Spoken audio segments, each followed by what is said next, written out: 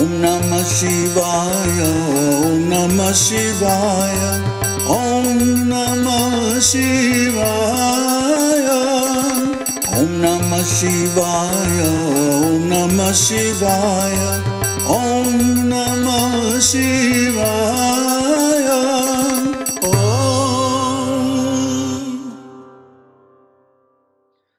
Adhikarana 4 Fulfillment of Desire Through Will. Doubt. In connection with the meditation based on the heart, it is heard from the Upanishad Should he desire the world of the manes, the manes become associated with him at his mere wish. Chandogya 821, etc. The doubt here is whether the mere wish is the cause of the appearance of the manes or it is the cause in association with some other factors. Opponent. As to that, although the Upanishad declares at his mere wish, still it is proper that in consonance with the affairs of the world, there should be dependence on some other factors, just as in the world we become associated with our fathers and others as a result of our desire coupled with some other causes like approaching, so also it must be the same in the case of the liberated soul. It is only thus that nothing contrary to common experience has to be imagined. When it is said, at his mere wish, it is done so from the point of view of the easy availability of the other means that lead to the fulfillment of the desire, as it is seen in the case of a king. Moreover, the manes and others who follow the dictates of one's desires will be as unsteady as the other things fancied by the mind, so that they will not be able to provide sufficient enjoyment. Vedantin. This being the position, we say, Sutra 8. Sankalpadeva tu tatshrute tu but sankalpat eva from volition alone tatshrute because such is the Upanishadic text. Translation The fathers and others come as a result of the will alone because the Upanishad says so. The contact with the fathers and others comes about owing to the will alone. Why so? Because the Upanishad says so. For such Upanishadic texts as the manes become associated with him at his mere wish, Chandogya 821, will be compromised if other causes have to be relied on. As for the other factors, they may well be there if they come in obedience to his will but no other means that requires an additional effort can be admitted, since in that case the volition will remain infructuous till the other factor comes into play. Moreover, in a matter to be known from the Upanishad, any general argument based on empirical experience has no application. Besides, the will of a liberated soul is different from any ordinary will, so that through the force of their mere volition, these manes and others can remain steady for as long as the occasion demands. Hence, this occurs through volition alone. Sutra 9.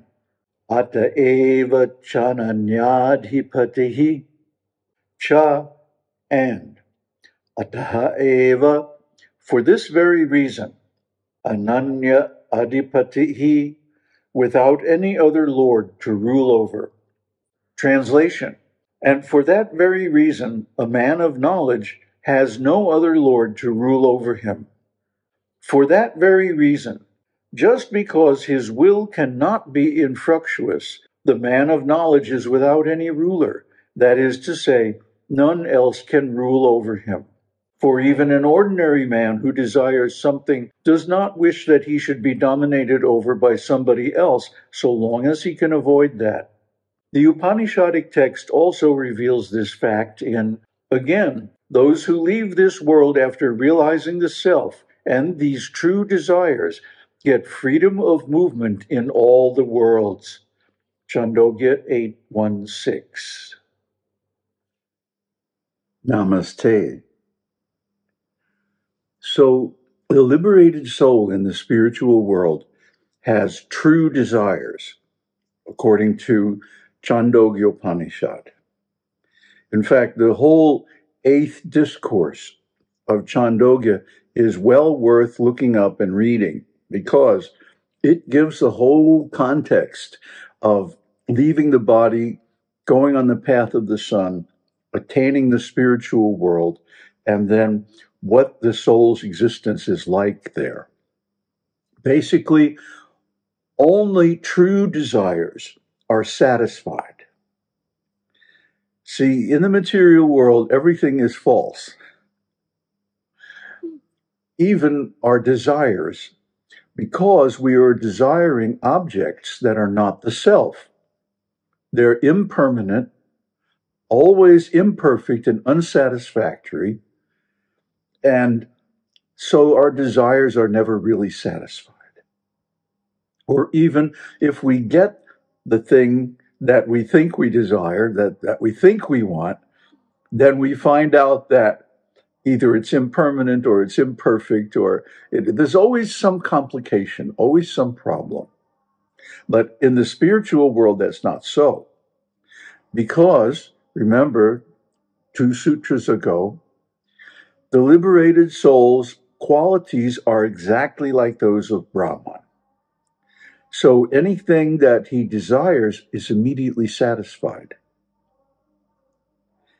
Not only that, the objects which are desired, such as the different realms or lokas in the spiritual world and the different forms of Brahman in the spiritual world, and the pastimes that occur there, the ecstatic, wonderful, loving, amazing pastimes, these are all real things.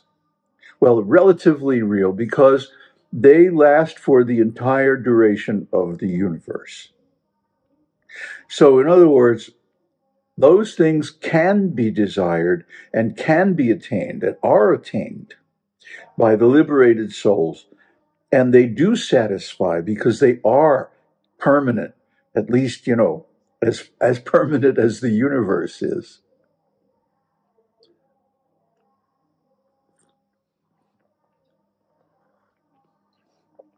So, what are we doing? Messing around in this material world, which is always disappointing, uh, where there are always complications due to karma, where everything is actually unreal because it's temporary and it soon falls apart and disappears you know the and the substance of it turns into something else huh? Like a clay pot. We've used the example so many times. Clay pot is fashioned from the clay found in the ground. But then, only as long as it holds that form is it useful. Or is it considered, you know, a pot, a thing, a separate identity from the clay because of its function? Then when the pot breaks, that function no longer works and we we throw it, it now it becomes garbage. and it goes back into the earth from whence it came and again becomes clay. But actually it was clay the whole time. We just didn't notice. Because we had applied this new label, pot, according to its function.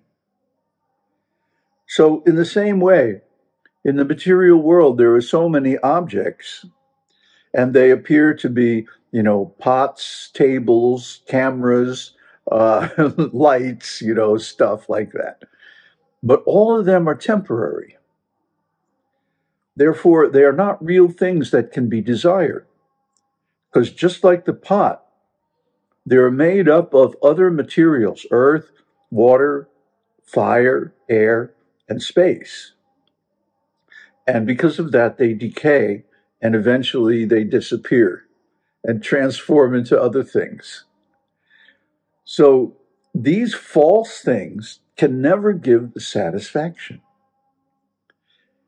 But everything in the spiritual world is conscious. Everything is alive.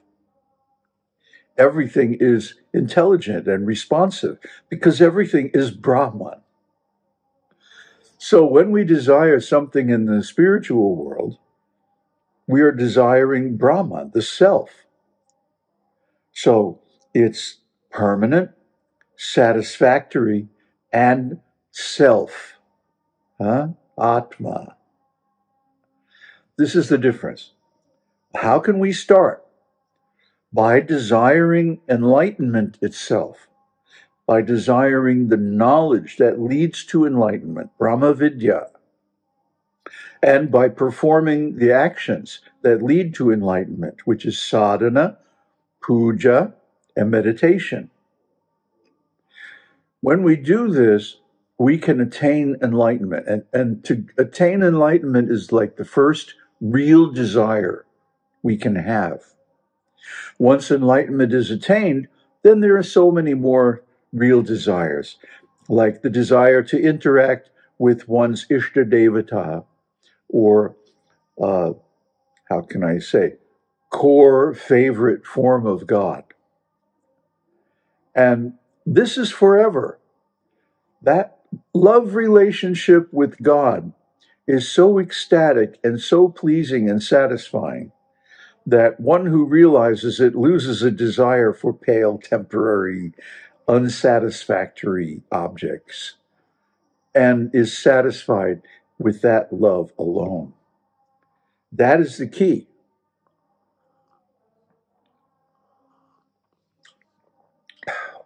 One of the things about the material world is that when the body becomes old and decrepit, at some point one actually desires to die. So we do. we, die, we go on, we take another body based on the impressions that we're holding in the mind at the time of death, which give us the uh, range of karma and so forth that we're entitled to in the next life. And then we again experience these unsatisfying desires and, and objects. And so this goes on and on. This is samsara. And it's a lot of suffering. So to get out of this suffering means to cultivate the true desires, desires that actually lead to enjoyment, that aren't disappointing, uh, that are real because they're permanent, or at least as permanent as the whole creation. And with knowledge of Brahman, even at the end of the creation, we're not disturbed because we have already realized Brahman and we simply merge into Brahman at the end, knowing that we'll come out the other side, you know, in the next creation. So, what is the problem? You know, the problem is we are desiring the wrong things.